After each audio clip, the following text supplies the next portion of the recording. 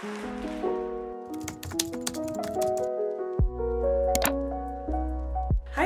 And welcome back to my YouTube channel or welcome to my YouTube channel if this is your first video. Today is the part two of our pivot door journey. In the first video, it was still under construction. The door had been installed. We were still waiting on the handle and we had to do the drywall and all the baseboards had been put in as well as what we had to do on the outside of the home for getting into the home because our home was up several inches from the sidewalk. So we have framed it in, it is all complete and we love this door. The brand of pivot door that we used was Panda. It's a local Las Vegas company and we've been very pleased with the product. There are several other companies and distributors out there that also make pivot doors, but we were pleased with this local company and really excited to have this door completed. And we have the pivot opening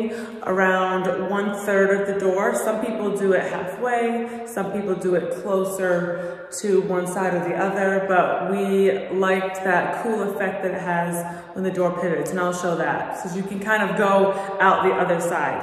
It's a really cool door, it's interesting, it's one that you don't see everywhere, and I'll show you up close some of the mechanisms and how it works. Okay, so I'm gonna take you a little bit outside to see some of the door.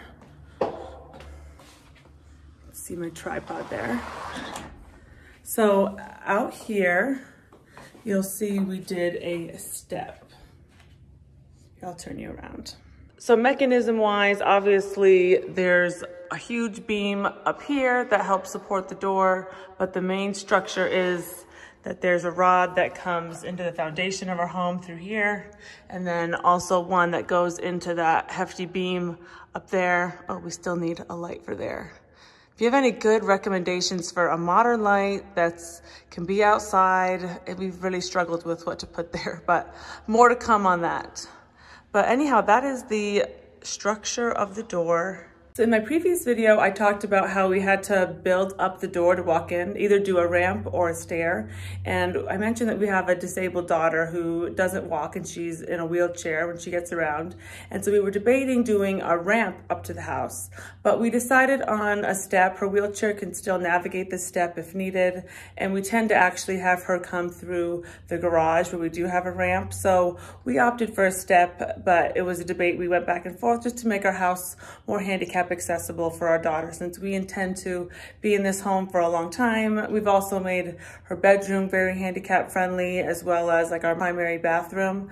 That one is wheelchair accessible. So some things that we consider for our home, but it might not be a consideration for you. But when you do these kinds of remodels retroactively into your home, sometimes you run into issues like the door isn't flush to the ground. So our foundation has the house slightly raised off the ground and that's just how our elevation is here for our home. And so just some things to consider that it's a little tricky sometimes to put things in that you want into a home that's already existing. And We've definitely gone through hurdles with various different renovation projects, and this was just one of the ones for this project. But I'll show you the step. It was really easy. We just had some contractors come and put the forms in and lay the concrete, and there's some rebarb in there to make sure it isn't going anywhere anytime soon. So here's the step. One thing we really debated on is how deep to make the step. So we have a courtyard. I'll kind of pull you back.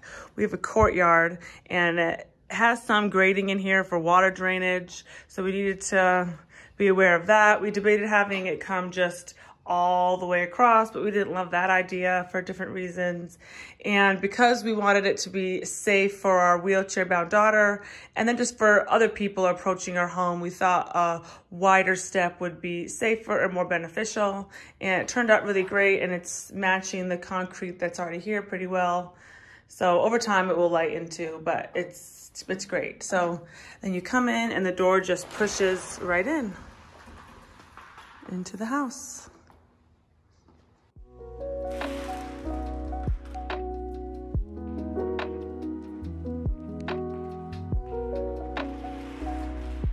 Hope this video is helpful if you are remodeling your home or in a new build and you're considering putting in a pivot door. We have loved it. I definitely recommend Panda Door and we just love the minimal modern design that it gives our home. So thank you so much for watching. Please feel free to subscribe and stick around on my channel. I have plenty more home decor and home design videos and I'll catch you in my next video. Bye-bye.